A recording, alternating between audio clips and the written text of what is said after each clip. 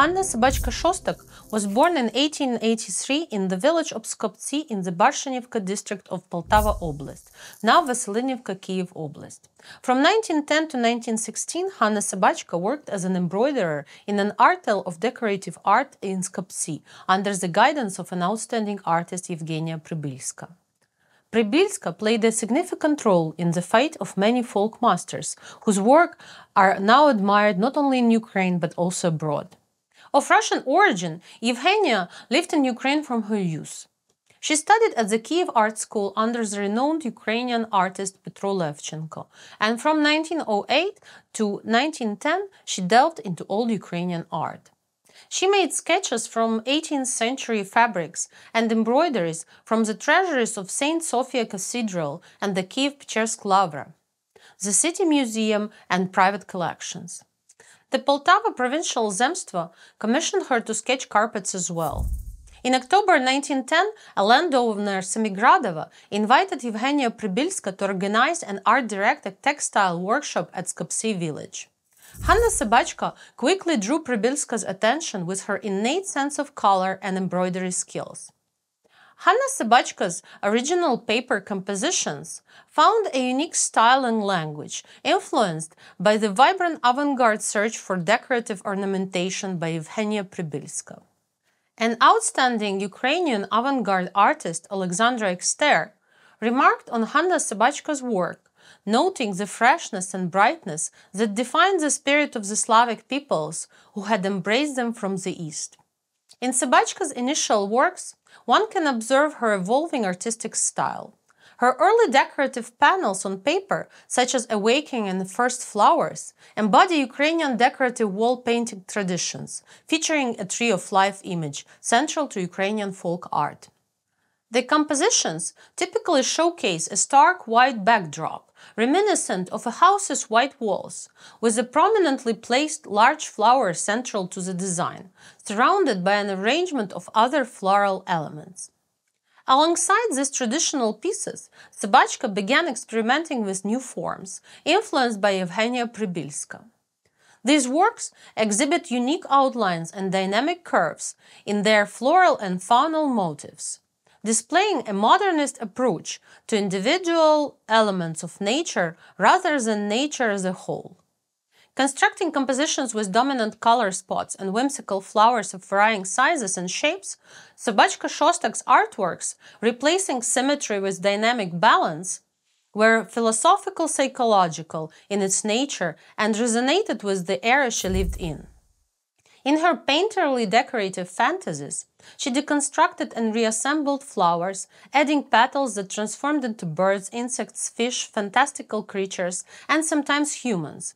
She created a spectacle of colors and ornamental elements on paper, reminiscent of ancient ornaments.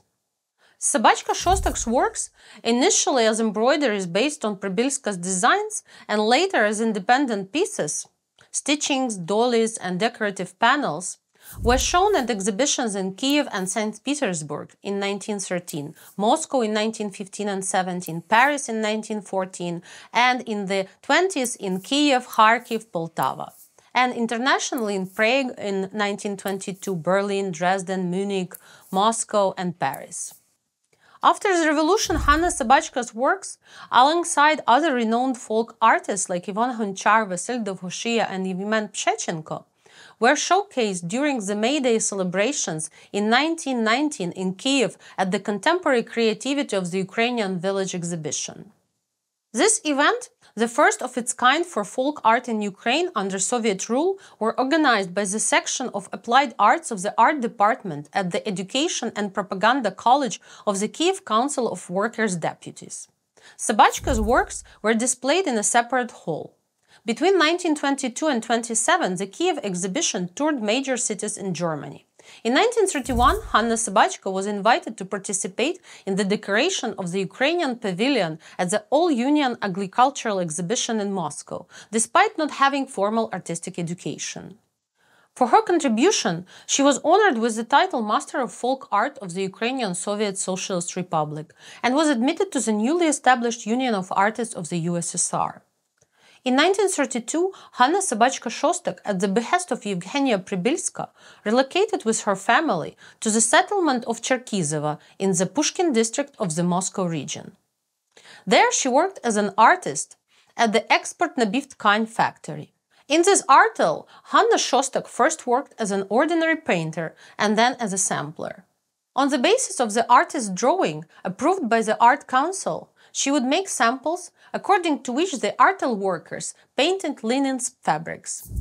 Finished products, scarves, carpets, and shawls, were exported to America and England, where they were in great demand. In 1936, Hanna Sobachko's artwork was displayed at the Republican Exhibition of Ukrainian Folk Art in Kiev, which was also showcased in Moscow and Leningrad.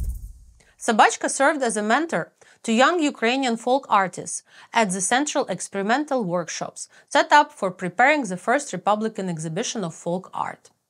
A notable discovery of the exhibition was Sobachko's student Paraska Vlasenko, who would later surpass her teacher in popularity. Vlasenko's work was featured on the cover of a special issue of the influential Soviet magazine Tvorchestvo, dedicated to the 1936 Ukrainian folk art exhibition. Vlasenko's style, reminiscent of Sobachko's yet more realistic, became emblematic, particularly as modernism was outlawed in the USSR at that time. Despite the harsh criticism in Tvorchestvo against Sobachko, accusing her of avant-garde affiliations, and the ongoing repressions that targeted Ukrainian artists like Mikhailo Boychuk, Sobachko managed to avoid persecution. Furthermore, for her contributions to Ukrainian folk art and her role in the 1936 exhibition, she was one of the first to be honored with the title Master of Folk Art of the Ukrainian Soviet Socialist Republic, receiving a first degree diploma and a monetary prize. Following the example of his mother, Hanna Sobachko's son Ivan Shostak became a decorative artist. In his original works, he gave complete freedom to his imagination. His paintings are distinguished by their boldness and richness in the depiction of fantastic colors, complex patterns that form a whole world in which people coexist with their recognizable household items, animals, and birds. For a short time in the 1930s, Hanna Sobachko found herself in the shadow of her talented student Paraska Vlasenko, who was less compromised in the eyes of the Soviet leadership. However, in the long run, it was Hanna Sobachko who eventually became a legendary name in Ukrainian art. A unique mix of avant-garde and folk art, the musical rhythm of Sobachko's compositions fascinates and inspires experimentation.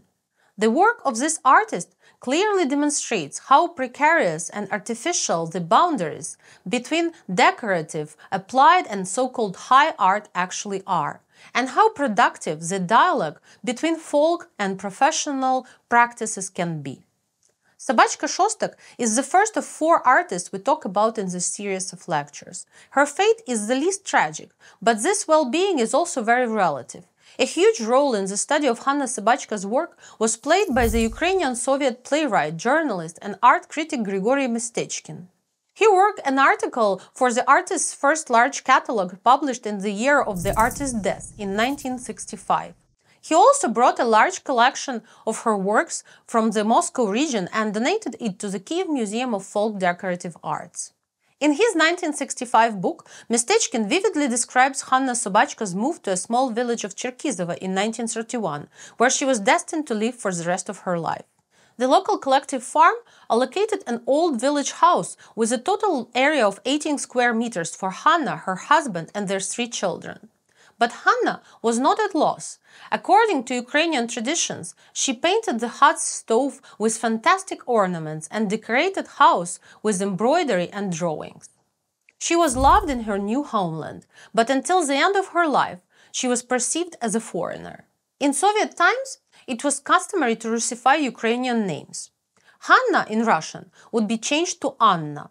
However, Sobachko Shostak remained a Hanna for her colleagues and fellow villagers until the end of her life. In the first years after moving to Russia, she did not know how to speak or write Russian at all.